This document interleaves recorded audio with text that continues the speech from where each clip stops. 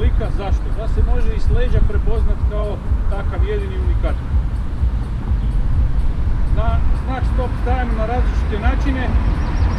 Jedan od načina je znači, da se stane točno ispred pješačkog prelaza, odnosno ispred te zaustavne crte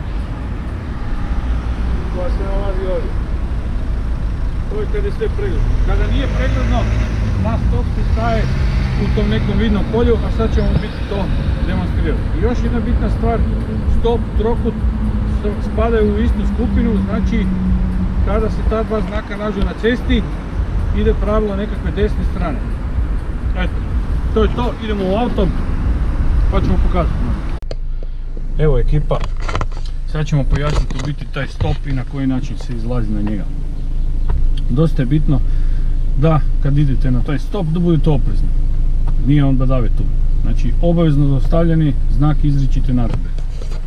Evo mi imamo jedan taj stopić gdje je ovak dosta nepregledno pa ću vam objasniti. Znači na taj stop se staje ako ide pješak. Staćemo, propustit ćemo pješaka, onda ćemo otići u vidno polje, odraditi stop, znači broj ćemo u sebi 1, 2, 3, te 3 sekunde koje moramo stati, tako traže za ispit i onda ćemo u biti nastaviti vožnju. Ako ima pješaka, znači stanemo pješaku, onda u vidno polje stop i onda u biti nastavljamo vožnju. Ako nema pješaka, ne stajemo ispred pješačkog, već idemo lagano u to vidno polje i tam ćemo se zaustaviti. Evo lagana demonstracija. Evo, krećemo lagano u promet. Imamo tu znak stop. Sada vidimo da je tu kuća lijevo i tu je nekakva odlagalište smeća i sad u biti tu treba biti jako oprezan da ne iđe pješak. Evo pješaka, znači stanemo, pustimo pješaka. Odlično. Lako. Sad idemo u vidno polje. Tako, evo vidno polje, znači tu gdje sve vidimo s lijeve i s desne strane. Nakon toga krećemo i nastavljamo vožnju. Normalno stali smo na te 2-3 sekunde, znači obavezno se treba zaustaviti. Znači to je kad ide pješak. Sad ćemo demonstrirati kad pješaka nema. Evo biti, sad ćemo biti objasniti taj drugi dio kada pješaka nema. Ako je vozilo ispred nas, znači propustit ćemo to vozilo da ode u vidne polje, čekat ćemo ispred pješačkog prelaza. Znači nećemo zatvarati taj pješački. Evo. Znači lagano se šuljamo, pješaka nema. Nećemo stati ispred stopa, već odmah idemo u to vidno polje. Evo stanemo na 3 sekunde i krećemo dalje. To je znači dio gdje pješaka nema. Znači nećemo se zaustavljati na pješačkom prelazu, u biti stajati dva put, jer nema za to potrebe. Dobro, imamo mi tu pomagača jednog. Evo ga. Tako da evo, ovaj put i nisam solo. Dobro, to bi bilo to. Ima još jedan znak na prugi koji ću vam demonstrirati. Ajmo onda do tamo. Evo još jedan interesantan stopić. Sad ćemo ga pokazati. Znači imamo stop, jel tako?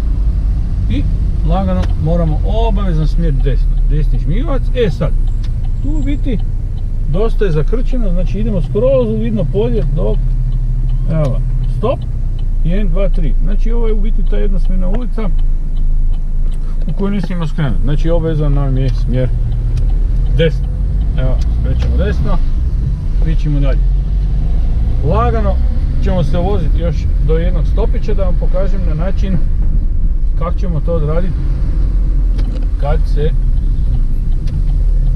kad je vidno polje u biti pregledno, kad nemamo nekih zapreka, zgradica, ničega, u biti onda možemo stati ispred zaustavne crte. Evo još jedan stopić, pa idemo i tako. Imamo jedno vozilo, lijevi žmigavac, lagano ćemo ga obići.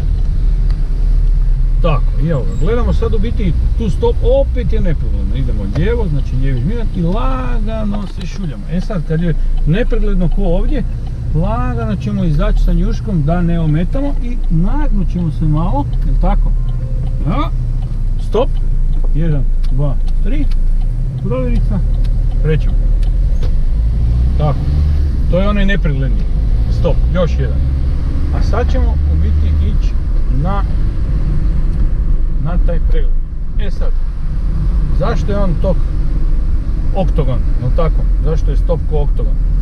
Sad ću vam pokazati, zato da se može, evo to pogledaj, zato da se taj stop, on je unikatan, oktogon, da ga se može i s leđa prepoznat kao tako. Tako da bi, u slučaju da vi nemate znaka, da bi mogli pogledati onaj, aha, to je oktogon, znači to je stop, unikat. Zato je on tog oblika da kao takav jedini se može lagano prepoznati. Evo sada idemo u biti taj stop koji je pregledni. Kada je taj stop pregledni, onda ćemo u biti stati tu ispred te zaustavne crte. Tako, zaustaviti se 1, 2, 3 i lagano krenuti desno. Evo imamo tu još jedan stopić. Isto gdje je pregledno, skrećemo desno. Tako, desni žmigić, znači stanemo tu ispred zaustavne crte i lagano krećemo dalje. Znači ako je sve pregledno, staćemo ispred zaustavne crte, odnosno ispred pješačkog i onda ćemo nastaviti dalje. Ako je, velim, nije pregledno, onda idemo u vidno polje. Stanemo u vidnom polju na način da ne smetamo vozilama koji dolaze s lijeva ili s desna i nastavljamo vožnju. Ako ima pješaka, to je, to je bitno zapamtiti. Znači stani pješaku i nakon toga u vidno polje obavezno još jednom se zaustaviti. Evo ekipa, to je to. Spremam jedno iznenađenje, sad ću vam pokazati koje. E ekipica, evo lagano se vozimo. Tu do znakića stop. Evo, u biti samo malo. Tu je taj stop, jel? I tu ćemo mi stati s tim snimanjima i biti službeni i u biti Ajmo po to iznadženje, idemo se tamo treba sparkirati.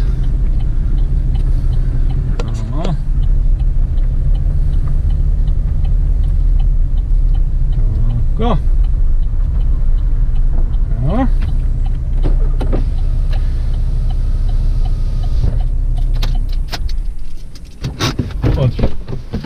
Sad u biti želim vam sam nešto pokazati.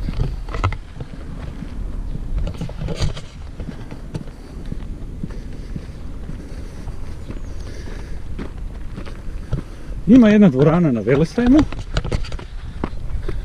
koju vodi Nataša, zove se Salsa Fusion. Unutra u toj dvorani ima i hip hop za djecu i za odrasle. Sea Flow. Anto je trener, vrhunski, jedan od najboljih plesača u Hrvatskoj, pa i mogu reći na Balkanu. On vodi taj programčić, jel? A u biti evo, čisto da malo vam pokažemo kako to izgleda. Kud idem? U Budaj.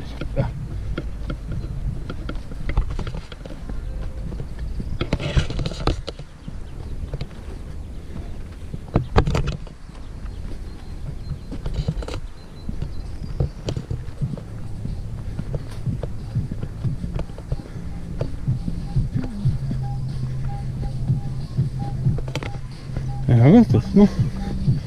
Sea Flow Kids. Opa! Opa!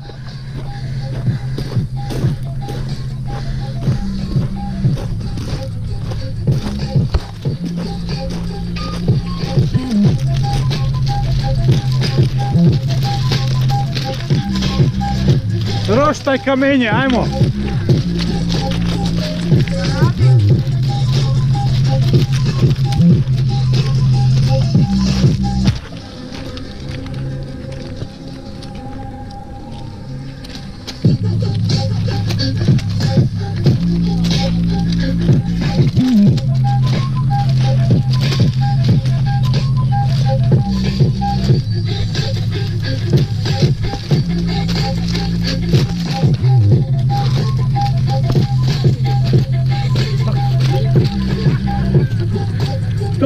To, ajmo čaka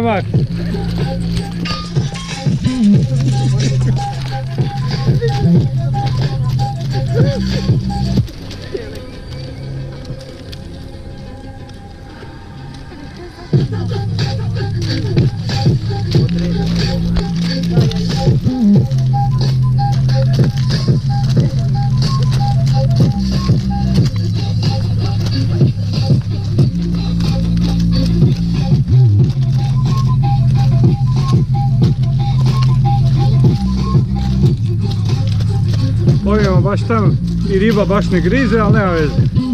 Bude kad odemo.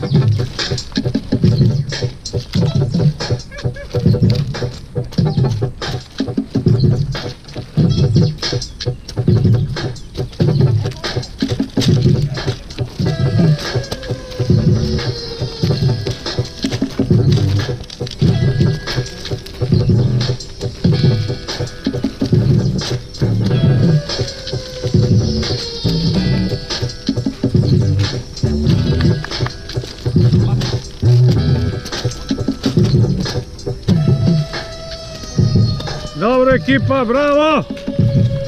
Odlično! Mame,